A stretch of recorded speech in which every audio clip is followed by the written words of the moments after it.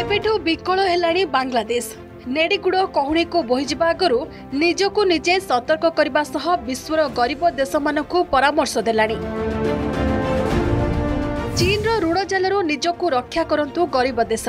ଶ୍ରୀଲଙ୍କା ଭଳି ସ୍ଥିତିରୁ ମୁକୁଳିବାକୁ ହେଲେ ସତର୍କ ରୁହନ୍ତୁ। ବାଂଲାଦେଶର ଅର୍ଥମନ୍ତ୍ରୀଙ୍କ ଏହି ବଡ଼ ବୟାନ ଏବେ ଚର୍ଚ୍ଚାରେ। ବାଂଲାଦେଶର ଅର୍ଥମନ୍ତ୍ରୀ ମୁସ୍ତଫା କମାଲଙ୍କ ଏହି ଗୋଟିଏ ବକ୍ତବ୍ୟକୁ ନେଇ ଏବେ ସାରା ବିଶ୍ୱରେ ଚୀନର ବାସ୍ତବିକତାକୁ ସ୍ପଷ୍ଟ କରିଦେଇଛି।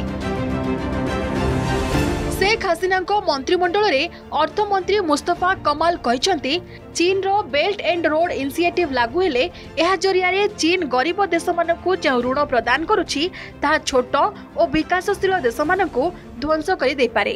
ବାଂଲାଦେଶର ଅର୍ଥମନ୍ତ୍ରୀଙ୍କ ଚୀନ ସମ୍ପର୍କରେ ଦିଆଯାଇଥିବା ଏହି ବକ୍ତବ୍ୟକୁ ଅତ୍ୟନ୍ତ ଗୁରୁତ୍ୱପୂର୍ଣ୍ଣ। ପ୍ରଥମ ଥର ପାଇଁ କୌଣସି ଦେଶର ଅର୍ଥମନ୍ତ୍ରୀ ଚୀନ ବିରୋଧରେ ଓ ଚୀନର ଋଣ ଜାଲ ବିରୋଧରେ ଏତେ ସରଳ ଓ ସ୍ପଷ୍ଟ ଭାଷାରେ ଚେତାବନୀ ଦେଇଛନ୍ତି। ଚୀନର ବେଲ୍ଟ ଆଣ୍ଡ ରୋଡ୍ ପ୍ରୋଜେକ୍ଟରେ ବାଂଲାଦେଶ ମଧ୍ୟ ସାମିଲ ରହିଛି। ଏହି ପ୍ରକଳ୍ପରେ ରେଳ ସଡ଼କ ଓ ସମୁଦ୍ର ମାର୍ଗରେ ଏସିଆ ୟୁରୋପ ଓ ଆଫ୍ରିକାର ସତୁରିଟି ଦେଶକୁ ଯୋଡ଼ିବାର ଯୋଜନା ରଖିଛି ଚୀନ।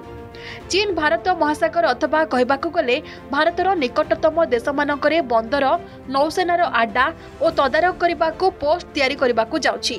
ବିଆର୍ଆଇ ଜରିଆରେ ଭାରତର ପଡ଼ୋଶୀ ଦେଶ ବାଂଲାଦେଶ ଓ ନେପାଳରେ ନିଜର ପ୍ରଭାବ ବିସ୍ତାର କରିବାକୁ ଚେଷ୍ଟା କରୁଛି। ଏଠାରେ ଭାରତୀୟଙ୍କୁ ବୁଝାଇବାକୁ ଯଥେଷ୍ଟ ଯେ ଚୀନ ଚାହୁଁଛି କ'ଣ।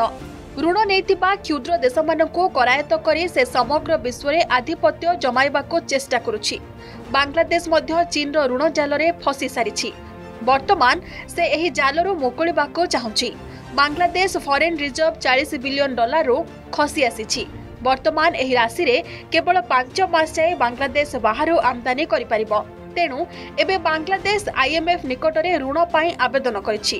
ଏପରିକି ବାଧ୍ୟ ହୋଇ ପେଟ୍ରୋଲ ଡିଜେଲର ମୂଲ୍ୟକୁ ବାଉନ ପ୍ରତିଶତ ବୃଦ୍ଧି କରିଛନ୍ତି ସରକାର। ଏଣୁ ବେଳହୁଁ ସାବଧାନ ହେବାକୁ ଅର୍ଥମନ୍ତ୍ରୀଙ୍କ ଏହି ବକ୍ତବ୍ୟ ସତର୍କ ଘଣ୍ଟି ବୋଲି କୁହାଯାଇପାରେ। Bureau report Argus news.